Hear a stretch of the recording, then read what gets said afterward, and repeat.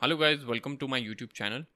So today I'm going to talk about the top 3 productivity shortcuts that I use with IntelliJ to boost up my development.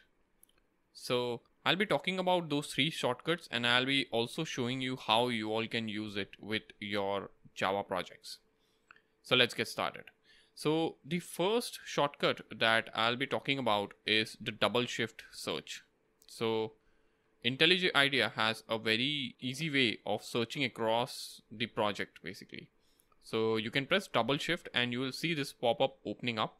You can uh, search for whatever you want. So let's say I want to open this file called hello world.java. Okay.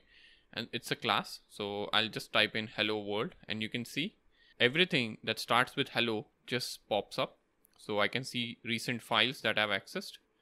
I can see hello world which is nothing but a symbol. So what I mean by symbol is it's a constant that is being created in nested demo main. I can enter and I can go over there, right? Also, you will see a run configuration that is already created with the name hello world, right? And you will also see some of the actions, okay, from the menu that have hello string associated to it. So this is how uh, double shift search can be useful.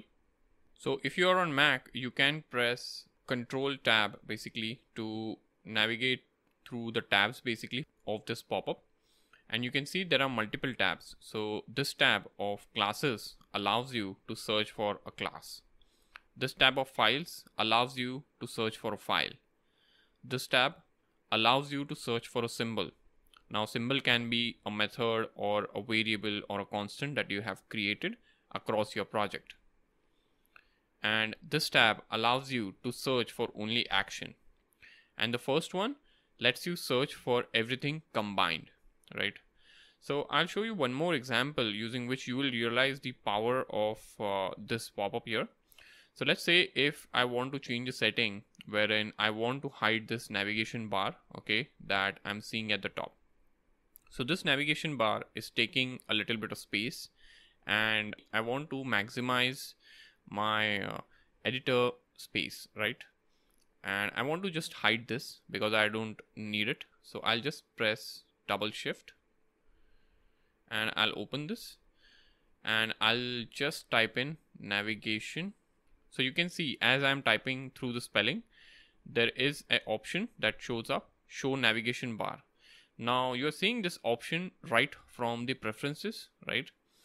And uh, what you can do is you can press enter to toggle it on and off. So you can see as of now it's on. So I'll just press enter right? So you can press enter to toggle it on and off. So if there is any setting that requires you putting it on and off or requiring you to do toggles basically those settings can be changed right from the search window. You don't have to open preferences for the same.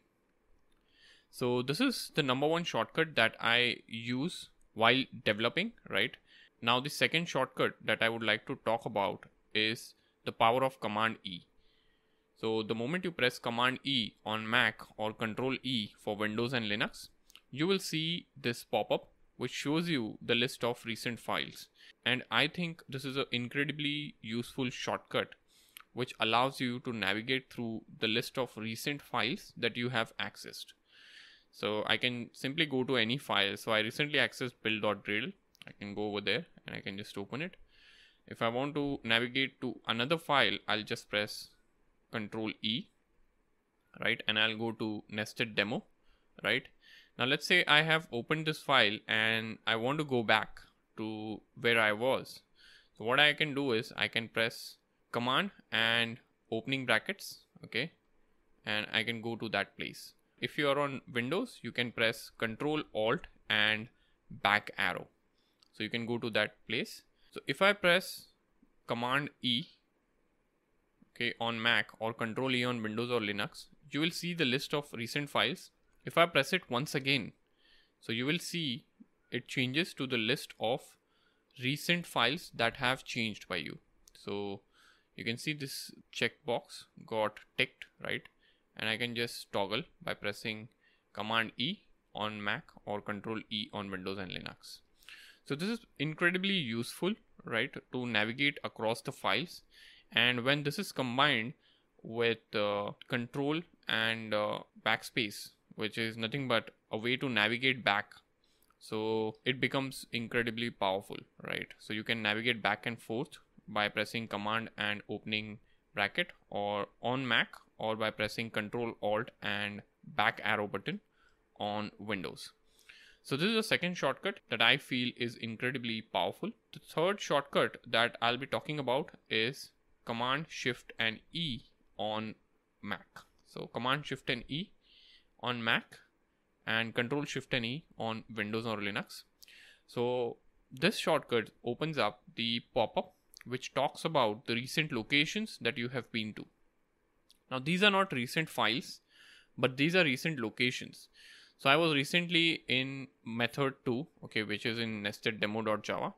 I was recently in nested demo test.java, which is also method 2.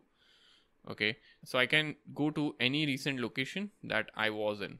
Okay, and if I want to go to a recent location wherein I made a specific change, so I can either tick this, okay, or I can again press Command Shift and E, okay, and Control Shift E on Windows, okay, and Command Shift E is on Mac.